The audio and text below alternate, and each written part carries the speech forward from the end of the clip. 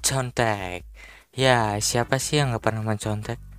Ya, hanya orang super ultra jujur aja yang nggak pernah ya.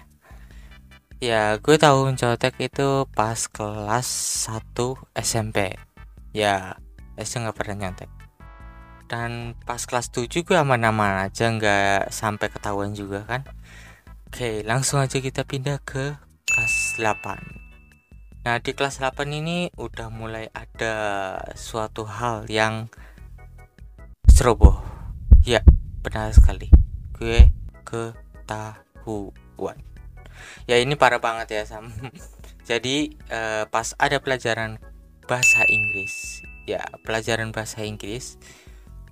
Jadi, gue nggak nggak nyontek pas itu. Serius, bukan gue yang nyontek, bukan.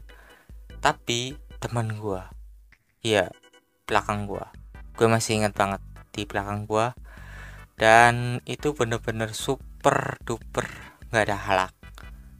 Pas udah selesai ya, gue pas mau ngumpulin tugas eh ulangannya, tiba-tiba dia minta contekan.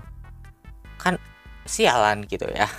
Dan mau nggak mau akhirnya gue nulis dong dengan buru-buru jawabannya. Tapi sebelum gue nulis buru-buru di belakang gue udah ada guru yang ngawasin. Seriously gue takut banget pas itu dan gue langsung taruh di laci tapi sayangnya ya kertasnya jatuh. Dan ya kalian tahulah endingnya apa.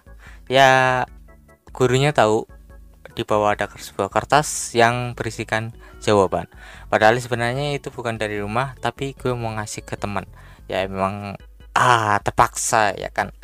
Karena maksa terus ini akhirnya gue disuruh untuk menemui guru bahasa Inggris dan untungnya gue dihukum kecil aja sih. Cuman disuruh bikin surat permohonan maaf aja.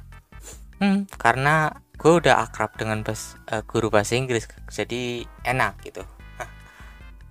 Ya dan pas itu kelas 8 nggak pernah nyontek lagi. Uh, udah tahun sekali ya kapok sih serius gue kapok untuk lanjutnya lagi. Tapi tapi tapi tapi tapi kelas 9 masih. Ya masih. Gue masih yang ngelakuin kayak gitu tapi ya masih aman juga sih untungnya tanpa ketahuan juga. Karena gue belajar dari kesalahan oke okay?